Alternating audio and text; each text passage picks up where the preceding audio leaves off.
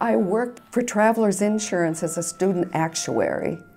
One day, word was going around travelers that there are these new things out there called computers that were going to take away all of their jobs.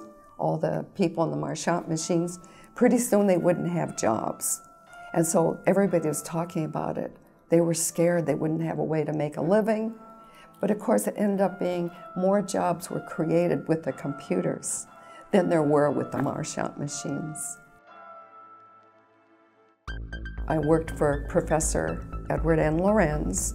He had an LGP30 in his office, and he taught me everything he knew about the LGP30. Well, he'd hand me something saying, here's the instructions. That's what people used to do, right?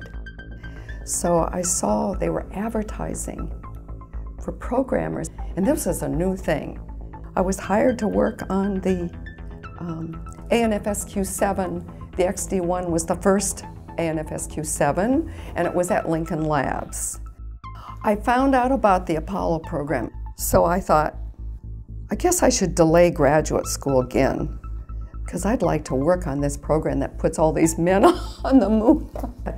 There was this one thing that they were worried about, what if um, the mission aborts? And everybody said, it's never going to. It just won't happen. Oh, well, good.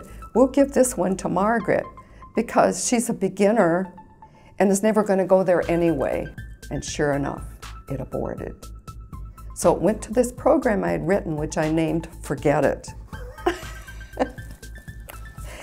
and all of a sudden, I became an overnight expert. So I, was, uh, I concentrated on the system software and then gradually took on, in addition to the system software, the command module software and around the Apollo 8 time, taking over all of the onboard flight software. The one thing that stood out in my mind, being in the onboard flight software, was that it was man-rated, meaning if it didn't work, a person's life was at stake, if not over. That was always uppermost in my mind and probably many others as well. Uh, had to be man-rated and it had to work the first time. You had to simulate the hardware. You had to simulate, you know, the vehicle and the world outside of it. So you had the hope that you simulated everything so it was as much like the real thing as you could get it to be. I started worrying about the astronauts. It worried me, what if there's an emergency and they didn't know it? So I had a meeting with software and hardware people so what I wanted to do was to interrupt the astronauts uh, to tell them there's an emergency so they'd stop doing what they're doing. So they said it can't be done. I said, why not? So I came back with a solution the next day. they thought about it and they said, I think it can be done. The hardware guys got behind it. They put the stuff into the hardware. And then the uh, Houston guys put it into their checklist for the astronauts.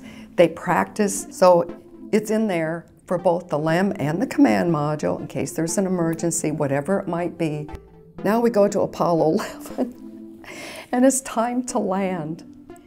And all of a sudden, guess what comes up? Priority displays telling them there's an emergency. This is just before they land. And here were the things that I had wanted to do was to warn the astronaut when there's an emergency. There were too many things going on in the computer, and the astronaut knew that he had put the switch in a position that had caused extra stuff affecting the computer. And he realized, oh yeah, and he put it back in the right place, and they landed. After um, the man missions, I guess I personally just had a sense of history about wanting to not just remember things, but do something based on, on what lessons were learned. Just like when an error would happen, you'd find a way not to let it happen again. I got funding for, for this error study, we called it. We took those errors and came up with this theory of control. And there were six axioms having to do at the time with software. In fact, the more you make use of this development before the fact mechanism, that you adhere to it or make use of it, um, the more reliable it's going to be.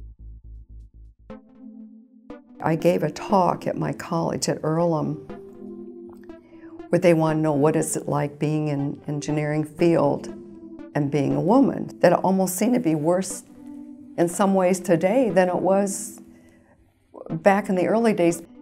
When you see women not being allowed to drive in certain countries, or you see women can't become priests, and you start seeing it, and you know how I feel about system of systems of systems and the butterfly effect or whatever.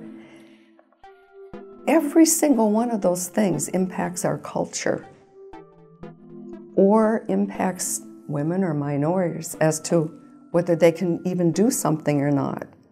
Because kids might think, well, I can't do that because I'm this or I'm that.